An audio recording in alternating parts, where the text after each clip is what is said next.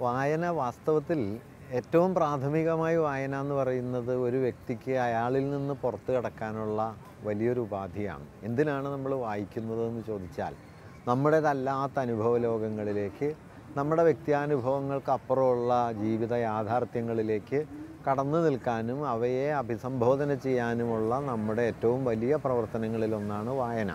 വായന വിവരം നേടാനോ വസ്തുതകൾ മനസ്സിലാക്കാനോ അതുവഴി വിജ്ഞാനത്തിന്റെ പല തട്ട് തട്ടുകൾ പിന്നിടാനും ഒക്കെ നമ്മെ സഹായിക്കും. അതൊന്നും ഇല്ലാത്ത കാര്യമല്ല. പക്ഷെ അവയൊക്കെ ഉള്ളപ്പോൾ തന്നെ വായന എന്നുള്ളത് അടിസ്ഥാനപരമായ ഒരു വ്യക്തിയെ അയാളുടെ സ്വകാര്യമായ വ്യക്തിപരമായ അതിർത്തികൾക്ക് അപ്പുറത്തേക്ക് കൊണ്ടുപോകുന്ന ഒരു പ്രക്രിയയാണ്. അതിൽ സാഹിത്യത്തെ സംബന്ധിച്ചാണെങ്കിൽ ഒരു വ്യക്തിയുടെ അനുഭവ ലോകത്തിനപ്പുറത്തേക്കുള്ള അനുഭവങ്ങൾ വ്യക്തികൾക്ക് മനുഷ്യർക്ക് സംഭാവന ചെയ്യുന്നു എന്നുള്ളതാണ് സാഹിത്യത്തിന്റെ വലിയൊരു കഴിവ്.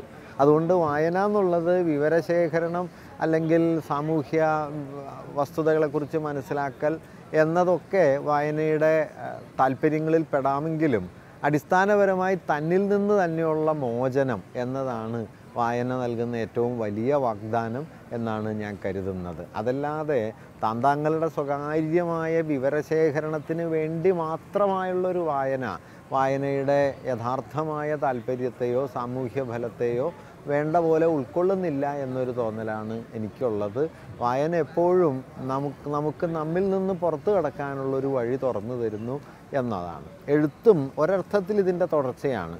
എന്റെ ഒരു അനുഭവ ലോകത്തെ ഞാൻ ഈ ലോകത്തെ മനസ്സിലാക്കിയ ചില രീതികളെ അതിൽ നിന്നും ഉണ്ടാക്കിയെടുത്ത ചില ബോധ്യങ്ങളെ ഞാനല്ലാത്തവരുമായി പങ്കുവയ്ക്കുക. അങ്ങനെ വ്യക്തിപരമായി എന്റെ അനുഭവ ബോധ്യങ്ങൾ ഞാനല്ലാത്തവരിലേക്ക് എത്തിക്കുകയും അനുഭവ ബോധ്യങ്ങളുടെ ഒരു വിനിമയ മണ്ഡലം ഇതിൽ രൂപപ്പെടുത്തിയെടുക്കുകയും ചെയ്യുക. അങ്ങനെ എന്നിൽ നിന്ന് ഞാൻ അല്ലാത്തവരിലേക്ക് സംക്രമിക്കാനുള്ള ഒരു വഴിയായി എഴുത്തും വായനയും നിലനിൽക്കുന്നുണ്ട് എന്നാണ് ഞാൻ കരുതുന്നത്. ഇതിന് വലിയൊരു പ്രാധാന്യമുണ്ട്. കാരണം മനുഷ്യരൊക്കെ അവരവർ മാത്രമാണ് എന്ന് കരുതുന്ന ഒരു ഘട്ടത്തിൽ അവരവരുടേതായ ബോധ്യങ്ങളിൽ കൂടുതൽ കൂടുതൽ ഉറച്ചു വെക്കുന്ന ഒരു ഘട്ടത്തിൽ അവരവരെ ഭേദിക്കാനുള്ള തന്നിൽ നിന്ന് മുക്തനാകാനുള്ള താനല്ലാത്തവരിലേക്ക് സംക്രമിക്കാനുള്ള മനുഷ്യരുടെ ഏറ്റവും പ്രധാനപ്പെട്ട ഉപാധികളിലൊന്നായിട്ട് വായനയുടെയും എഴുത്തിന്റെയും ലോകം നിലനിൽക്കുന്നു. ആ നിലയിൽ അത് മനുഷ്യരുടെ ഉണ്മയുടെ നിലനിൽപ്പിന്റെ ഏറ്റവും പ്രധാനപ്പെട്ട അടിസ്ഥാനങ്ങളിലൊന്നിനെ പ്രകാശിപ്പിക്കുന്ന പ്രവൃത്തിയാണ് എന്നാണ് ഞാൻ കരുതുന്നത്. നവമാധ്യമങ്ങൾ വായനയുടെ മണ്ഡലത്തിൽ വരുത്തിയ ഒരു മാറ്റം വായനയെ അത് കുറച്ചുകൂടി ക്ഷണികമാക്കി എന്ന് വേണമെങ്കിൽ പറയാം. അതായത് മൾട്ടിമീഡിയയുടെ ഒരു സന്ദർഭത്തിലെ വായന വായനയുടെ രേഖീയമായ പഴയ ക്രമത്തെ ഭേദിക്കുന്നു.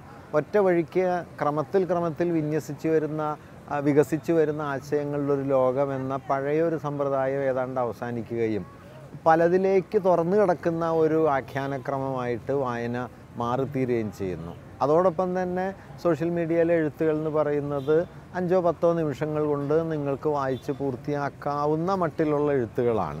അത്തരം എഴുത്തുകൾ തെറ്റൊന്നുമല്ല പക്ഷേ അത്തരം എഴുത്തുകൾക്കൊരു പരിമിതി ഉള്ളത് അത് കൂടുതൽ വിപുലമായ ആഴത്തിൽ മനസ്സർപ്പിച്ച് ധ്യാനാത്മകമായി ചെന്നെത്തേണ്ടുന്ന പല പ്രമേയങ്ങളെയും ഉൾക്കൊള്ളാനോ അഭിസംബോധന ചെയ്യാനോ നമുക്ക് ഇടം തരില്ല എന്നുള്ളതാണ് അതിന്റെ ഒരു പരിമിതി. ഞാൻ അതിന്റെ ഒരു പോരായ്മയായിട്ട് പറയല്ല. അതിന്റെ ഒരു പ്രത്യേകത അതാണ്.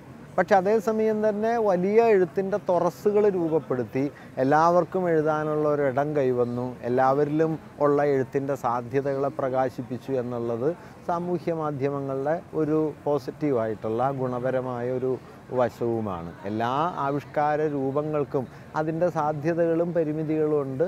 സാമൂഹ്യ മാധ്യമങ്ങളുടെ എഴുത്തിലും അതുണ്ട് എന്നേ കരുതേണ്ടതുള്ളൂ. അതിൽ തന്നെ നെഗറ്റീവോ അതിൽ തന്നെ പോസിറ്റീവോ എന്നുള്ള നിലയിൽ അവയെക്കുറിച്ച് ചർച്ച ചെയ്യുന്നതിൽ വലിയ അർത്ഥമുണ്ടെന്ന് എനിക്ക് തോന്നുന്നില്ല. പുതിയ തലമുറ വായനയെ ഉപേക്ഷിച്ചു എന്നെല്ലാം പറഞ്ഞുകൂടാ മറിച്ച് പുതിയ തലമുറയുടെ വായനയുടെ രീതികളിൽ മാറ്റം വന്നിട്ടുണ്ട്. ഒരുപക്ഷെ ഞങ്ങളുടെ തലമുറയോ അതിനു മുമ്പുള്ള തലമുറയോ വായിച്ച രീതിയിലല്ല പുതിയ തലമുറ വായിക്കുന്നത്. അവരവരുടേതായ വായനാ സമ്പ്രദായങ്ങൾ കണ്ടെടുത്തിട്ടുണ്ട്. ആ വായനാ സമ്പ്രദായങ്ങൾ അവരെ ചില പ്രത്യേക തരത്തിലുള്ള വായനാ രീതികളിൽ കൊണ്ടുപോയി എത്തിച്ചിട്ടുണ്ട്. അതിനതിന്റെ പരിമിതികളോ ഗുണങ്ങളോ ഉണ്ടാകുകയും ചെയ്യുന്നുണ്ട്. എന്തായാലും നമുക്ക് എല്ലാ കാലത്തും ഒരേ പാറ്റേണിൽ തുടരുന്ന വായനാ സമ്പ്രദായങ്ങളെ ഒന്നും ആ, നിലനിർത്താൻ പറ്റില്ല. പക്ഷെ ഒരു കാര്യം ഉറപ്പുള്ളത് വായന എന്നുള്ളത് ഏതെങ്കിലും ഒരു ഘട്ടത്തിൽ നമുക്ക് ഉപേക്ഷിക്കാവുന്ന ഒരു കാര്യമല്ല. പുതിയ തലമുറയും അതിലൂടെ തന്നെ കടന്നു പോകുന്നതാണ് ഞാൻ പ്രതീക്ഷിക്കുന്നത്.